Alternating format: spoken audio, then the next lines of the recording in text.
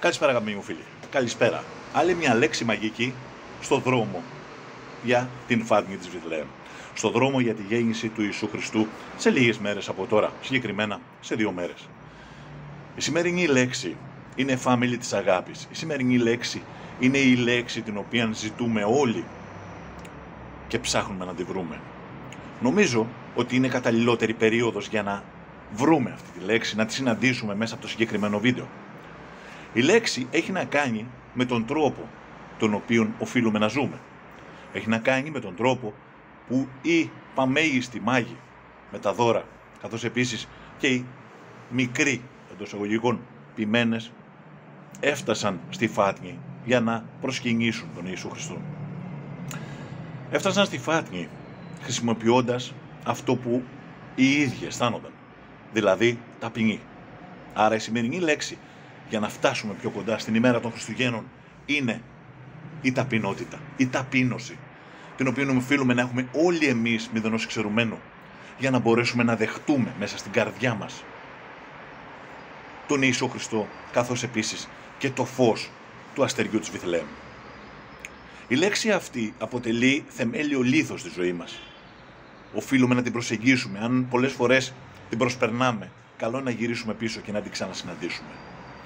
Η ταπείνωση λοιπόν, όχι μπροστά μόνος στον Ιησού Χριστό αλλά και στους ανθρώπους, είναι ένας σημαντικός παράγοντας της ζωής και ένας σημαντικός παράγοντας σύνδεσης των ανθρώπων οι οποίοι κρατούν το χέρι ο ένας του άλλου και προχωράνε στην ίδια ζωή.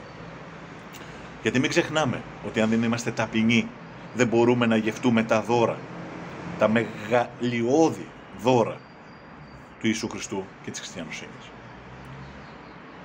με την ταπεινή αυτή σχέση την οποία να αναπτύσσουμε με τη φάτνια της Βιθλεέμ, με τον ταπεινό τρόπο με τον οποίο δεχόμαστε το φως της Βιθλεέμ από το αστέρι στην ψυχή μας και στην καρδιά μας, ας ενωθούμε όλοι μαζί, ας σκεφτούμε όλοι μαζί πόσο πολύ οφείλουμε να ταπεινώσουμε τον εαυτό μας, να τον χαμηλώσουμε τόσο πολύ ώστε αυτό το φως να έρθει με τη μέγιστη δυνατή ένταση να μας φωτίσει για να προχωράμε στη ζωή.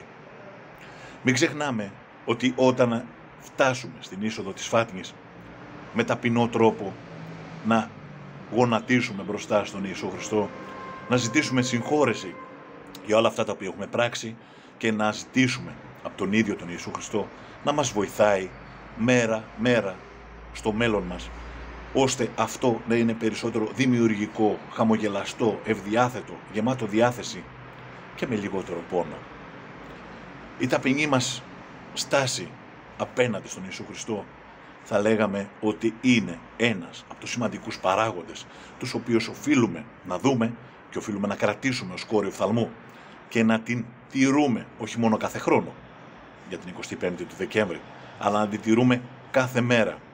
Η ταπείνωση είναι ένας καθημερινός αγώνας που μας φτάνει πιο κοντά στο Χριστό. Η ταπείνωση είναι ένας καθημερινός αγώνας όχι απέναντι στον άνθρωπο αλλά μαζί με τον άνθρωπο.